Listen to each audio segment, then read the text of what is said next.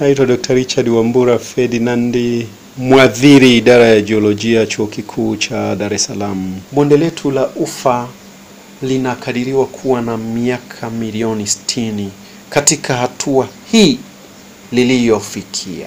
Linaweza likawa lilianza pamoja na bahari ya Sham pamoja na bahari ya Aden, lakini hizo mbili zimeweza kufunguka lenyewe bado linafunguka polepole pole. Lakini kwa sasa hatuwezi kusema haliwezi kufunguka kwa sababu bado linafunguka na lina viashiria vyote vya kufunguka.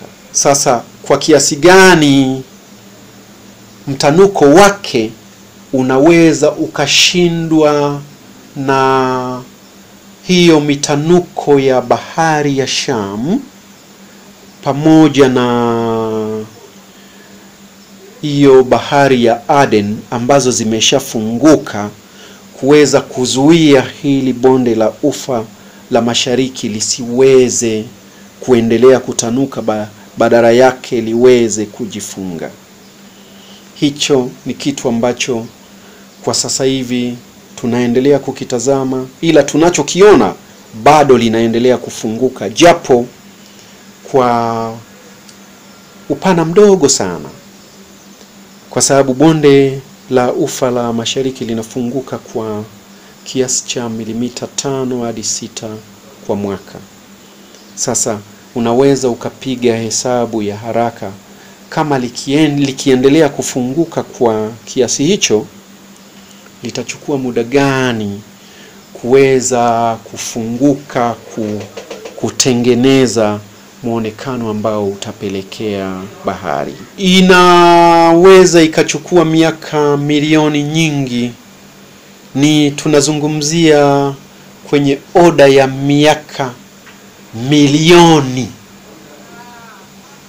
siyo hii miaka ambayo sisi tunaisemea, kwa sababu sasa hivi imeshakata miaka milioni sitini. Ndiyo hali hii tunayoiona sasa iliyopo katika bonde letu la ufa na bado halijafunguka sana, lakini lipo katika hatua mbalimbali na halifunguki lote kwa mara moja. Ukilitazama maeneo ya kaskazini utakuta yamenyanyuka juu sana na yametengeneza bonde kubwa zaidi, na ndani ya mabonde hayo kuna volkano hai nyingi. Kadiri unavyokuja kusini kwa kaskazini, nikiwa na maana ya Ethiopia, unapokuja kusini Kenya, unazikuta volkano hai zikiwepo na ule mwinuko kutoka usawa wa bahari vile vile ni mkubwa. Unapofika Tanzania unashuka unajikuta una kilomita moja pointi mbili kutoka usawa wa bahari na volcano hai zinaanza kupungua. Kitaalam kuna mipasuko aina mbili ambayo tunaita mipasuko ya matetemeko, kwa kitaalam tunasema ni seismic, mipasuko ambayo inaambatana na mtikisiko mkubwa wa ardhi. Mipasuko ya namna hiyo inatokea kwenye miamba migumu iliyofungamana. Kunakuwa na ufa, lakini ule ufa umeshikamana kwa kiasi kikubwa, na kitendo cha kuipasua kwa mara moja kunatengeneza mtikisiko mkubwa, lakini ikiambatana na nguvu ya volkano, kitendo cha volkano kuwa kwenye ardhi kinasababisha ardhi inaku, inapoteza uimara wake. Ile miamba inageuka kutoka miamba migumu inakuwa miamba laini. Kwa hiyo hiyo miamba laini ikivutwa inaachana na kuleta ufa mkubwa na kwa sababu ni miamba laini, mtikisiko wake mara nyingine inaambatana na mtikisiko kidogo sana, na mpasuko mkubwa.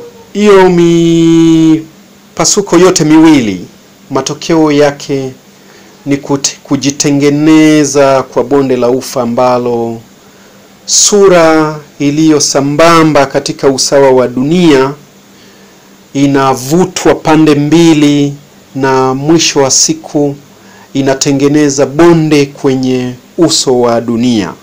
Mwendelezo wake unaweza ukapelekea kutengana kwa maeneo mawili yaliyo katika pande mbili ambazo zimetenganishwa na bonde hilo, na mwisho wa siku ikatengeneza bahari ambayo inatenganisha maeneo hayo mawili. Nini kinapelekea kutengenezwa kwa bonde la ufa au kuten, kujitengeneza kwa bahari? Hili bonde letu la ufa lisiweze kujitengeneza kama bahari, kama bahari ya Shamu na hii bahari ya Aden zitafunguka na kulifanya hili bonde la ufa linaloshuka katika nchi hizi za mashariki ya Afrika kujifunga, na mwisho wa siku linaweza lenyewe lisijitengeneze kama bahari.